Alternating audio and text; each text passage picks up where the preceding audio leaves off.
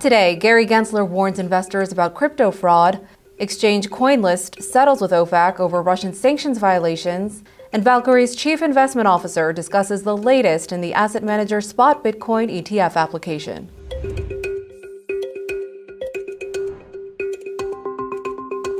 Welcome to CNBC's Crypto World. I'm Talia Kaplan. Digital currency still riding high after the Fed decided to keep interest rates steady to close out 2023 and suggested they might actually cut rates in 2024. By noon Eastern, Bitcoin traded above $42,600, Ether inched closer to $2,300, and Uniswap rose to 631.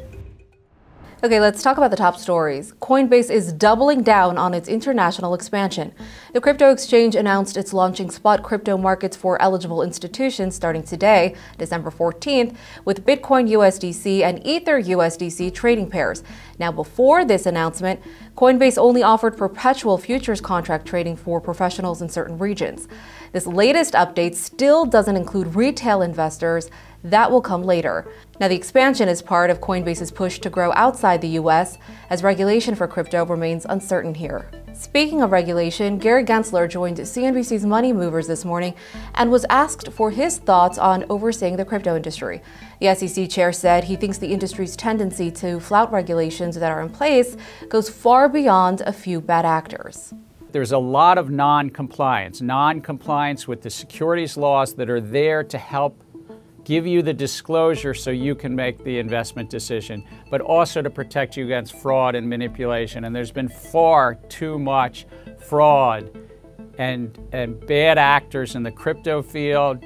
There's a lot of non compliance, not only with the securities laws, but other laws around anti money laundering and protecting the public this is really the Wild West and it's around the globe. I would, I would say again, this is a small part of our US capital markets, but it can undermine confidence when so many people have been hurt and all they can do is then stand in line at a bankruptcy court and, and it's not just one actor and it's not just, oh, it's just a few bad actors over here. This is something that pervades a lot of this uh, field globally, and it's hard for the good faith actors even to compete because there's so many challenges elsewhere.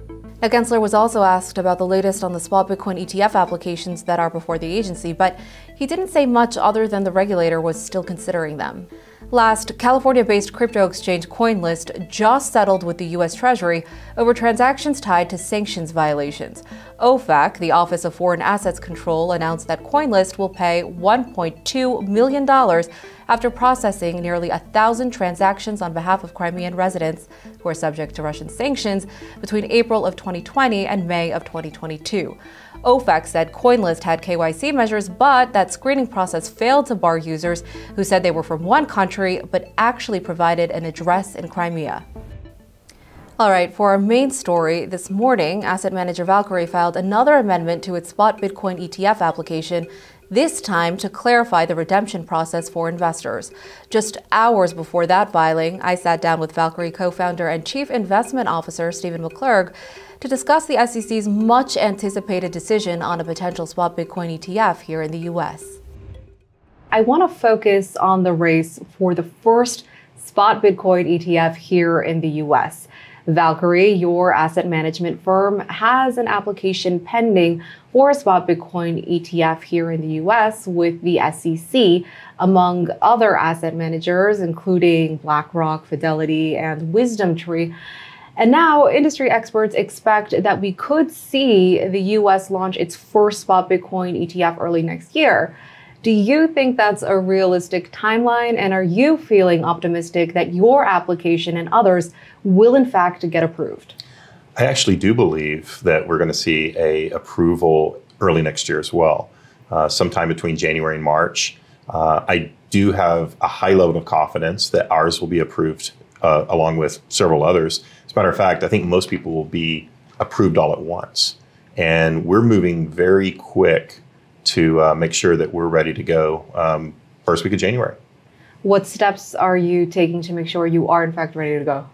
Well, the, the typical steps that you that you go through to launch an ETF, uh, you set up a fund admin, you set up a custodian, Uh, you set up all your market makers. Uh, you know, a lot of boring things uh, that, that, goes into. We have this entire list, entire punch list of all the things you have to do, including depositing a C, getting a first audit. So, uh, so those are all the the items that we're going through the list of uh, as we speak, uh, trying to be ready before the end of the year. So, do you really think it's realistic that it will in fact happen? I mean, after all, the industry has been trying for about a decade, and we all know that SEC Chair Gary Gensler has been a vocal critic of crypto, although it's important to note that he recently said he will listen to his staff's input on a potential spot Bitcoin ETF. And of course, we also recently saw that court win for Grayscale when a federal court sided with Grayscale over the SEC in its attempt to convert its Bitcoin trust into an ETF. So, how does all of that play into the equation? Yeah, I actually believe that uh, Gary Gensler is someone who is a big proponent of Bitcoin and a big proponent of this uh, ETF launching. Uh, he's uh, acted very favorable uh, towards the crypto industry. I know, I know, a lot of people don't feel like he has, but uh, the very first Bitcoin futures ETF actually launched under his watch. Uh, he said he laid out exactly what he thought issuers needed to do to get there, and it played out exactly like he said he did. You know, uh, he he came forward and said, uh, in a 40 act fund, I could see Bitcoin futures being launched, and about 90 days later or less, um, we had Bitcoin futures in the market. Uh, we have ETH futures in the market under his watch. And right now, we're in a moment of time where uh, the staff is working very hard uh, to get a Bitcoin spot ETF into the market. So uh, I, I absolutely believe that he's well educated, along with other people on the staff, about Bitcoin, about how it works, and how a Bitcoin ETF is going to work. Expanding on that, memos released late last month revealed that the SEC met with asset managers BlackRock and Grayscale ahead of that much anticipated decision over a potential spot Bitcoin ETF. So I'm wondering, what does that signal to you? And did you have any meetings with the SEC recently on the topic? Yeah, I mean, we, we speak with uh, the staff all, all the time. Uh, About as, a spot as, Bitcoin ETF? Sometimes, as well as others. in recent weeks? Well, you know, I'm not going to really comment on our, our, our direct conversations with the staff, but, but what I will say is this um, what the staff is trying to do right now is to make sure that markets function effectively and that all disclosures are in the filings before they launch. And, and those are two very important functions in the SEC. And I, I will say that I believe they're moving very quickly. They're being very thorough. Um, there's a lot of speculation on when this will launch. Uh, my answer is going to be sometime after January 2nd and when they are ready and uh, but I but I think that we'll get there soon. And it certainly will be very interesting to see what transpires on that front. But I'm wondering, what do you think will happen to crypto if these spot Bitcoin ETFs do in fact get approved here in the U.S.? I heard you say that you think it will be massive for Bitcoin. Mm-hmm. Why do you think that is? Well, there's there's two buckets of cryptocurrencies really in the U.S., and that's ones that the SEC has looked at as being, you know, and decided they're not securities like Bitcoin. There's also a lot of other cryptocurrencies that are still questionable in, in their minds. So I don't think it's necessarily a big deal for all of crypto, but it's certainly a big deal for Bitcoin. And um, as far as how big it could be for Bitcoin, uh, Bitcoin is a very cyclical in- industry. Uh, it's it runs in four year cycles based on uh, mining halvings. And we're now at the point of the cycle where we're at the typical bottom of the cycle moving up. So not only do not only are we in a in a in an upward bull market cycle, we are also getting ready to have a Bitcoin spot ETF. So those two things together are is, is really going to move markets in a favorable way. I'm wondering what prompted you to file an application for a spot Bitcoin ETF specifically right now? I mm-hmm. believe this is your second attempt. BlackRock filed its application for a spot Bitcoin ETF, and then many other asset managers mm-hmm. followed suit. So I'm wondering, did that influence your decision at all, especially because BlackRock is the world's largest asset manager after mm-hmm. all? So I'm wondering if that contributed to your filing. Yeah, it actually didn't. So uh, we actually filed for a spot Bitcoin ETF back in January of 2020. Uh, sorry, 2021. That's right. And um, so we've been working on it ever since then. Um, we have, of course, filed uh, amendments to um, you know some of our 19b4 filings, uh, given new information and, and things like the surveillance agreement that, that came out uh, with NASDAQ. Uh, but we've been working on this um, really now almost three, is it almost three years?